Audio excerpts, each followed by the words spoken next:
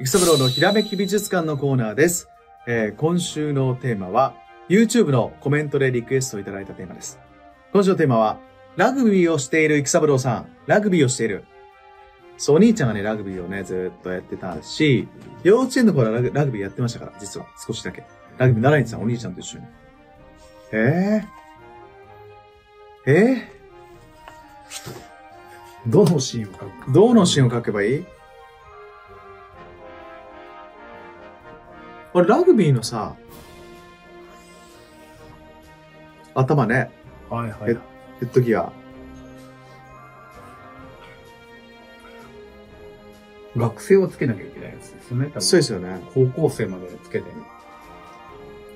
そうそうそう、ラ、そう。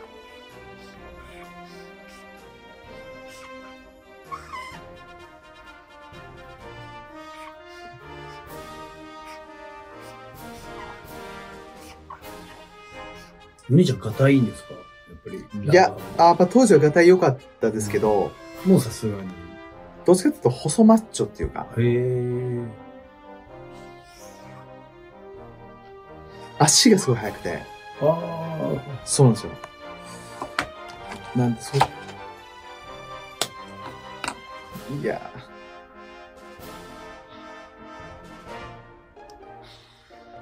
さすがに池三郎さんは、高校の時にアメフト一緒にやろうと思わなかったんですか？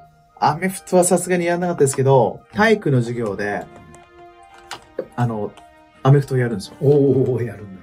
そう、体育の授業でやるときは、タタッチ、タックルなしでう、ん。タッチラグビーじゃないけど、タッチアメフトみたいなう、ん。はやってましたね。だからアメフトのあのボールを、うん。この、こうやってないって、こういう風に投げるのは、できる。できました。すごい。はい。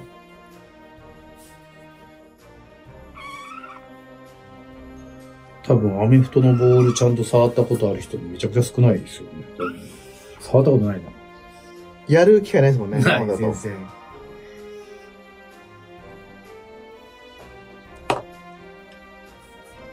でも変えてるのは今ラグビーです。はい、今はもうラグビーを。これ、よし。来た。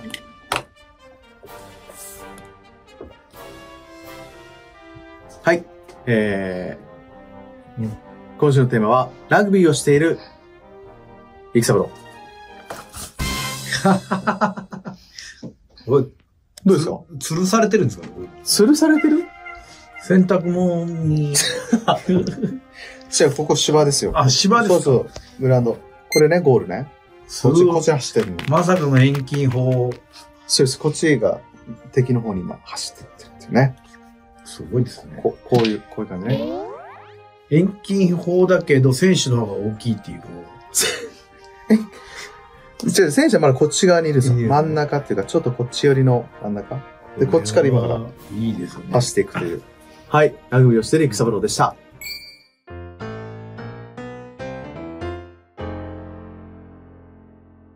育三郎のひらめき美術館のコーナーではですね、育三郎にぜひ書いてほしいお題を募集します。この動画のコメント欄に皆さんがこういうの書いてっていうのをね、こう書いていただいたらそれを採用させていただきますので、皆さんぜひたくさん書いてください。お待ちしております。